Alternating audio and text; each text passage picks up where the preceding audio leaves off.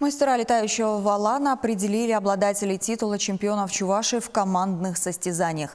Кто из девяти квартетов претендентов сумел пополнить свой актив золотой медалью республиканского достоинства, расскажет наш спортивный корреспондент Вячеслав Ильин. Через сито квалификационных соревнований финал чемпионата Чуваши пробились квартеты Dream Team и Импульс. Учитывая составы команд, матч за золото Чуваши должен был дать ответ на извечные вопросы. Кто правит бал в республиканском бадминтоне – отцы или дети?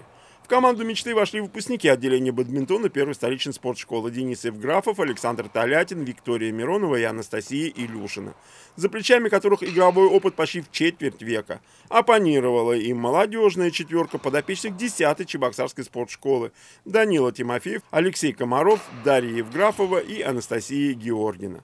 Финал открывали мужчины-одиночники, и 36-летний Александр Толятин дал мастер-класс серебряному призеру чемпионата республики этого года 16-летнему Даниле Тимофееву, переиграв своего визави в трех сетах. Спорт для меня тоже образ жизни. Играю, не пропускаю. А так, конечно, мы рассчитываем на первое место.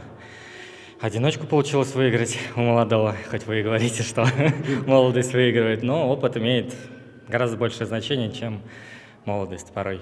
В споре женщин 17-летней Дарьи Евграфовой в одиночку хватило двух сетов, чтобы обыграть свою соперницу Анастасию Илюшину. А вот в паре с Анастасией Георгиной, увы, опыт перевесил, и победные очки на свой счет записал дуэт команды мечты. То, что мы с Настей не часто играем вместе, и за счет этого у нас какой-то дисбаланс в игре, и вот проиграли, к сожалению. Но будем стараться, чтобы выиграть.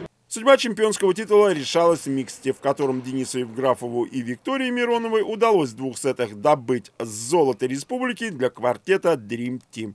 Серебро у «Импульса», бронза у команды ЧГУ. Вячеслав Ильин, Вести Чувашия.